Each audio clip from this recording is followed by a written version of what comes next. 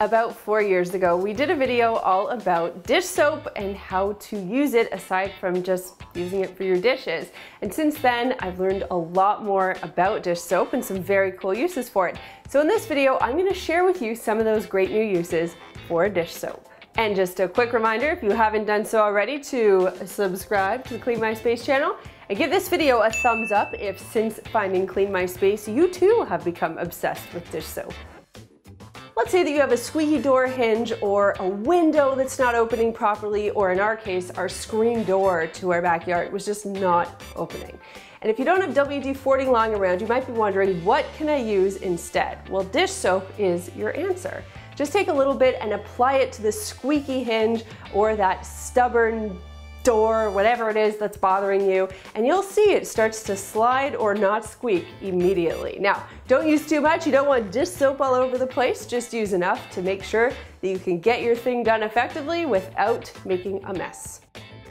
Now, not that this happens to you every day, but when it does happen and you get a little panicky, dish soap can come to the rescue. Let's say you put too much hair product in your hair, or you've done some sort of oily treatment on your scalp and it's just not washing out. Well, guess what? Dish soap will save the day. And allow me to do a demonstration for you because in our last video on dish soap, I put some stuff in Chad's hair and then I used dish soap to get it out. And you know what guys, it was so much fun that I just threw this tip in there so I could do it all over again and show you exactly how it works. It's really easy to make your own ice packs and it can be a handy thing to have on hand because you never know when you're gonna need one. All you have to do is grab a Ziploc bag and fill it about three quarters the way full, throw it in the freezer, and what will start to happen, if you've ever seen those gel ice packs, they don't actually freeze, but they kind of get a little crunchy and they really retain the cool from the freezer. That's exactly what's going to happen with the dish soap. They're super effective, easy to make, and very inexpensive.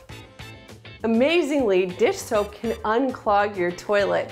And we made a video on this a couple of years ago. It's got well over a million views. The tip itself is incredible, but I think the video when we filmed it, I think I laughed probably the hardest at this video. It's either this or the DIY poo spray, but honestly, anytime there's a toilet situation, I am laughing really hard. So if you guys wanna learn how to unclog your toilet with dish soap, or if you want a really big laugh, check out the video. I've got the link for you down below. And finally, dish soap makes a great DIY countertop cleaner. Now, I know I've talked about this one a lot, but I, I feel like I can't talk about it enough because it is just that good. It saves you so much money and it works so effectively. And I've tested all kinds of different concoctions and this is the recipe I keep going back to. It's just two cups of water, a small squirt of dish soap, something about the size of your thumbnail, maybe half a teaspoon if you're measuring it out. And if you want to get really fancy, you can add in 10 drops of your favorite essential oil. That will probably mask any scent from your dish soap and leave a nice fresh scent of your choosing behind. It works really well on all surfaces that you would use any all-purpose cleaner on. So I use it on my quartz counters. You can use it on marble and granite, laminate. You can use it on wood surfaces. It's just a great general purpose cleaner that's safe, and effective.